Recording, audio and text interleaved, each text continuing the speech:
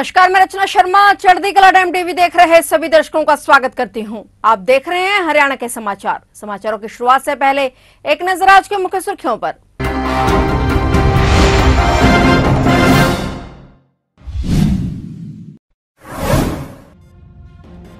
बीस मई को सिरसा पहुँचेंगे यूपी के मुख्यमंत्री योगी आदित्यनाथ। सिरसा लोकसभा में भाजपा के लिए वोट मांगेंगे योगी। चुनाव प्रचार को उफान देने की कोशिश।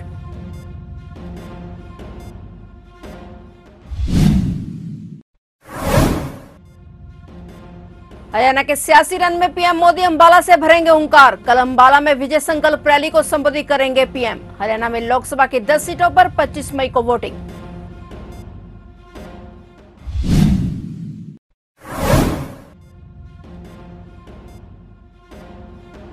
हरियाणा सरकार ने नई एक्साइज पॉलिसी को दी मंजूरी। हरियाणा में महँगी होगी शराब। विदेशी शराब के दामों में चार से पाँच फ़ीसदी तक की बढ़ोतरी।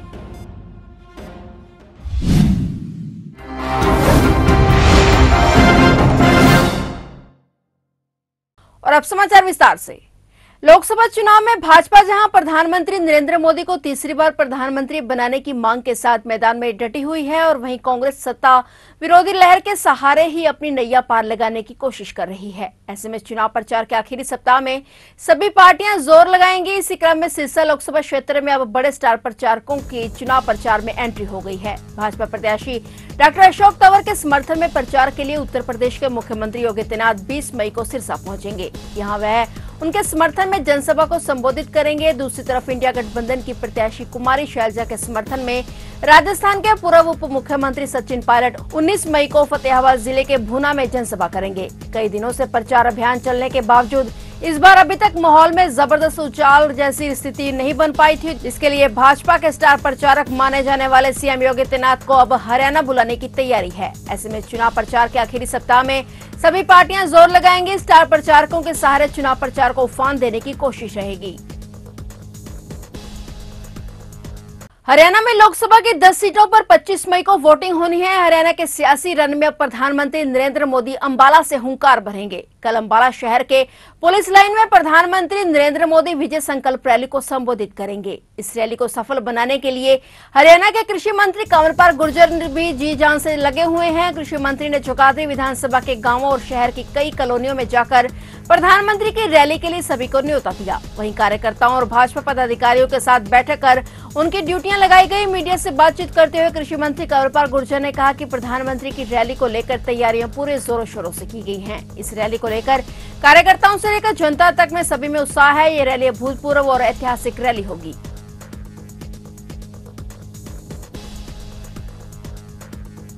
हरियाणा सरकार ने नई एक्साइज पॉलिसी को मंजूरी दे दी है। इसके तहत विदेशी शराब के दामों में चार से पाँच फ़ीसदी तक की बढ़ोतरी होने वाली है, जबकि देसी शराब की बोतल करीब चार रुपए तक महँगी होगी यह बदलाव 12 जून 2024 से लागू होंगे, क्योंकि पुरानी पॉलिसी इसी तारीख तक प्रभावी रहेगी। बता दें की कैबिनेट मीटिंग में तय हुआ है की प्रदेश में अब शराब के ठेके किसी गाँव ऐसी पचास मीटर दूर खोले जा सकेंगे। वही कोई भी बार रात 12 बजे के बाद नहीं खुलेगा। हालाँकि इस मामले में दिल्ली से सटे गुरुग्राम और फरीदाबाद को छूट प्रदान की गई है। 12 बजे के बाद भी बार खोलने पर सरकार की ओर से कोई मनाही नहीं है, बस उसके लिए सरकार से एक्स्ट्रा फ़ीस तय की गई है। यदि रात 12 के बाद दो बजे तक कोई बार खोलता है तो उसे सालाना 20 लाख रुपए अदा करने होंगे। इसके अलावा यदि दो बजे के बाद भी कोई बार खोले रखता है तो उसे सरकार को पाँच लाख रुपए प्रति घंटे की फ़ीस देनी होगी।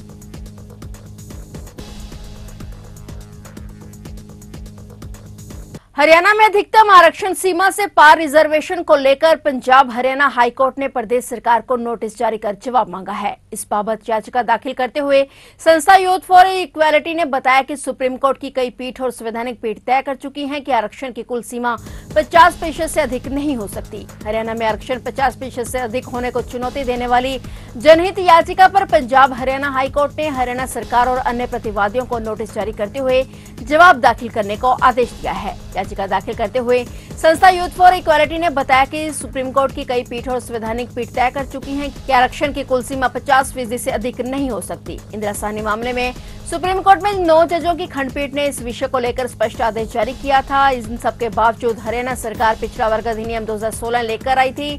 इस अधिनियम के आने के बाद प्रदेश में कुल आरक्षण सत्तावन प्रतिशत हो गया, जो निर्धारित से सात प्रतिशत अधिक है।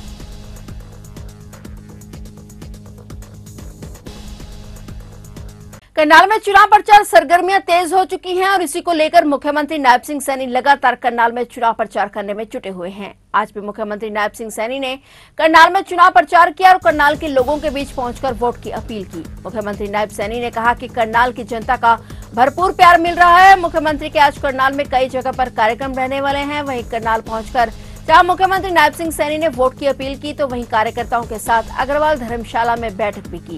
इस दौरान मुख्यमंत्री ने मीडिया से बातचीत करते हुए कांग्रेस को आड़े हाथों लिया। देखिए, करनाल के लोगों का जो स्नेह, प्यार, आशीर्वाद मिल रहा है, मैं उससे अभिभूत हूँ और लगातार क्योंकि मुझे प्रदेश के अंदर भी जाना पड़ रहा है। प्रदेश के साथ साथ बाहर के अन्य राज्यों में भी जाने का मुझे मौका मिला है। और करनाल के लोगों का सहयोग, आशीर्वाद, वो भरपूर मिल रहा है। 25 मई को जब वोटिंग होगी, करनाल के लोग बड़ी संख्या के अंदर बाहर निकल करके इस डबल इंजन सरकार के प्रति अपना वोट देंगे। नरेंद्र मोदी जी को यहाँ से बड़े मैंडेट के साथ कमल का फूल खिलेगा। मनोहर लाल जी दिल्ली में लेकर के जाएँगे और एक कमल का फूल चंडीगढ़ में जाएगा। भारी लोगों के अंदर उत्साह भी है। सरकार ने जो काम किए हैं, गरीब के मजबूती के लिए काम किया है, किसान के लिए काम किया है, महिलाओं के लिए काम किया है, युवाओं के लिए काम किया है। नरेंद्र मोदी जी के नेतृत्व में ये देश आगे बढ़ सकता है। ये कांग्रेस या राहुल के नेतृत्व में देश आगे नहीं बढ़ सकता। ये हुड्डा साहब तो वैसे हाथ पैर मार रहे हैं, क्योंकि दल के अंदर ज़िंदा रहना है और इस कारण से वो आते हैं, परंतु लोग इनकी नीतियों को, इनके विचारों को, वो लाइक नहीं कर रहे। मोदी जी की नीतियों को, विचारों को लोग अप्रिशिएट कर अरविंद केजरीवाल के पीए ने स्वाति मालीवाल के साथ मारपीट की है, मुकदमा भी दर्ज हुआ है। क्या कहेंगे? ये गमंडिया गठबंधन के जितने भी लोग हैं, ये अपने आप तो कुछ भी करें, उसके ऊपर कोई बोलता नहीं। कांग्रेस शासित प्रदेश के अंदर अगर बेटी के ऊपर दुराचार हो जाता है तो प्रियंका वाड्रा गांधी के मुँह के ऊपर भी ताला लग जाता है, और जितने घमंडिया गठबंधन के लोग हैं, उनके मुँह के ऊपर ताला लग जाता है। कोई बोलने के लिए तैयार नहीं है। ये इनके दोरे चेहरे हैं। भारतीय जनता पार्टी के करनाल लोकसभा प्रत्याशी और पूर्व मुख्यमंत्री मनोहर लाल का पानीपत के सेक्टर 25 में अभिनंदन समारोह का आयोजन किया गया। पूर्व मुख्यमंत्री मनोहर लाल के पहुँचने पर निवर्तमान mayor Avneet Kaur OSD doctor Praveen Singh और हज़ारों की संख्या में पहुँचे लोगों ने फूलों की बौछार करके उनका हार्दिक अभिनंदन किया। मंच पर पानीपत की विभिन्न सामाजिक, धार्मिक और राजनीतिक हस्तियों ने पहुंचकर मनोहर लाल का शॉल, बुके और गदा और तलवार कर सम्मानित किया। इस अवसर पर प्रदेश के पूर्व मुख्यमंत्री और करनाल लोकसभा प्रत्याशी मनोहर लाल ने कहा कि हम गुरुओं को मानने वाले लोग हैं, गुरुओं के सहयोग से पानीपत की धरती पर जो बड़े समागम हुए हैं, उनके लिए भी मैं सिख संगत और पानीपत के सभी लोगों का आभारी हूँ। साढ़े नौ साल तक हमारे हरियाणा के ऐसे मुख्यमंत्री रहे जिन्होंने हमेशा हमारी कम्युनिटी का साथ दिया है। मैं निजी तौर पर खट्टर साहब का बहुत बड़ा उनका सम्मान करता हूँ, क्योंकि जो उन्होंने बाबा बंदा सिंह बहादुर जी के इतिहास को यहाँ कायम किया, और 400 साल जो गुरु तेग बहादुर जी का उन्होंने पानीपत में मनाया, वो ऐतिहासिक है। पूरे देश में कोई नहीं कस पाया। इसलिए आज हमें इस बात की बड़ी खुशी है कि हमें मानयोग, हमारे मनोहर लाल खट्टर जी, जो कि यहाँ से सांसद के रूप में चुनाव लड़ रहे हैं, ऐसे खट्टर साहब के समर्थन में हमारी सारी सिख कम्युनिटी इकट्ठी हुई थी। किसान आंदोलन को आज तीस दिन पूरे हो चुके हैं लेकिन स्थिति जस की तस बनी हुई है। 17 अप्रैल से शुरू हुए आंदोलन को लेकर 6000 के करीब ट्रेनों का संचालन प्रभावित हो चुका है। इस दौरान 2017 ट्रेनों को पूर्ण तौर पर रद्द कर, कर दिया गया और वहीं दो ट्रेनों को बदले मार्ग से और तीन सौ चौरानवे ट्रेनों को बीच रास्ते रद्द करके पुनः संचालित किया गया, जबकि 690 मालगाड़ियों को बदले मार्ग से गंतव्य की तरफ़ भेजा गया। दरअसल अम्बाला सानेवाल रेल सेक्शन पर शंभू रेलवे स्टेशन के नज़दीक रेलवे लाइन पर किसान डटे हुए हैं। उनकी मांग है कि जब तक पुलिस द्वारा गिरफ़्तार किए गए उनके साथी रिहा नहीं होते, तब तक उनका यह आंदोलन जारी रहेगा। इससे रेलवे को अरबों रुपए का नुकसान हो चुका है। वहीं प्रतिदिन हज़ारों यात्री इसका खमियाजा भुगत रहे हैं। दूसरी तरफ़ ट्रेनों के मार्ग बदलने की वजह से अमृतसर और जम्मू की तरफ़ से आवागमन करने वाली ट्रेनें घंटों देरी से चल रही हैं। रेलवे अधिकारियों की लाख कोशिशों के बाद भी ट्रेनों के समय पर संचालन को लेकर रूपरेखा नहीं बन पा रही। इस कारण रेल यात्री घंटों स्टेशनों पर इंतज़ार के लिए मजबूर है। अब देखना यह है कि कब इस समस्या का समाधान होता है और फिर पूर्व की तरह सभी ट्रेनों का संचालन कब शुरू होता है।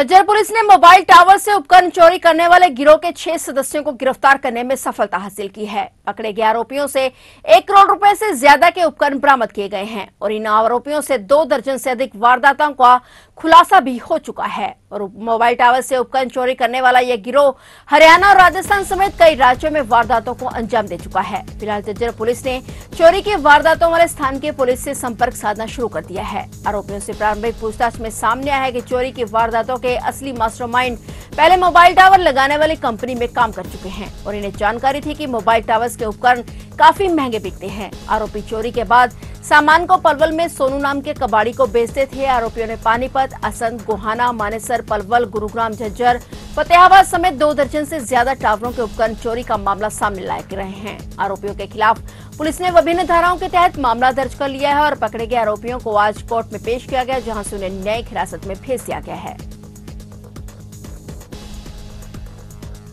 सेक्टर 14 में दिन दिहाड़े गोली चलाने वाले दो युवकों को एसटीएफ की टीम ने गिरफ़्तार कर लिया है। टीम ने बदमाशों के पास से विदेशी हथियार भी बरामद किए हैं।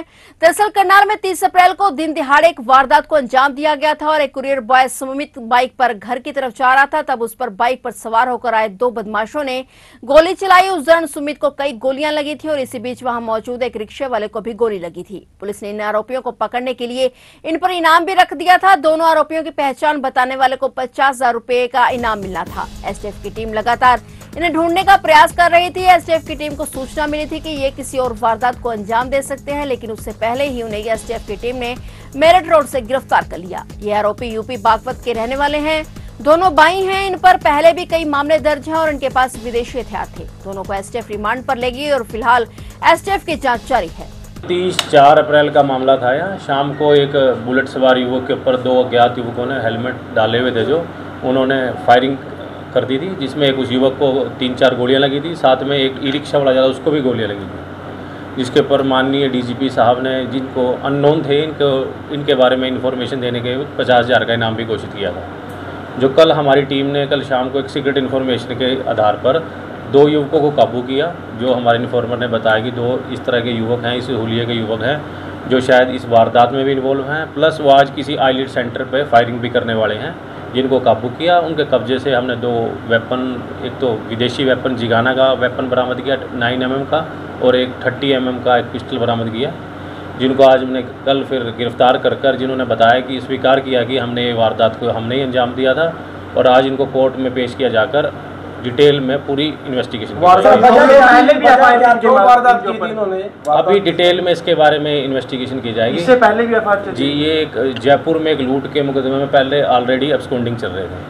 फतेहाबाद के ढाबी बबनपुर में किसान ने रंजिश के चलते खेत में फ़सल के अवशेषों में आग लगा दी। आग ने पास की एक ढानी को भी अपनी चपेट में ले लिया, जिससे लाखों रुपए का सामान जलकर राख हो गया। सूचना पाकर पुलिस और दमकल विभाग की टीम मौके पर पहुँची और कड़ी मुशक्कत के बाद आग पर काबू पाया गया। पुलिस ने पीड़ित किसान की शिकायत पर केस दर्ज कर जाँच शुरू कर दी है। पुलिस मामले में जल्द आरोपी को काबू कर पूछताछ करेगी। ढानी बबनपुर निवासी रमनप्रीत सिंह और किरणपाल सिंह ने बताया कि गाँव के ही गुरनाम सिंह का खेत उसके घर के साथ है और वह उसके साथ काफ़ी समय से रंजिश रखे हुए हैं। उन्हें परेशान करने के बहाने ढूंढता रहता है। रमनप्रीत ने कहा कि गुरनाम सिंह ने सरकारी नियमों की उल्लंघना करते हुए और उन्हें नुकसान पहुँचाने के लिए अपने खेत में फ़सल के अवशेषों में आग लगा दी और खुद अपने खेत में जाकर खेत को जोतने लगा। गुरनाम सिंह द्वारा लगाई गई आग धीरे धीरे उनके घर तक पहुँच गई और आग से उसके दो गोबर गैस प्लांट, करीब 50 क्विंटल लकड़ी, नब्बे ट्रॉली तोड़ी जलकर राख हो गई। आग से उसे लाखों का नुकसान हुआ है।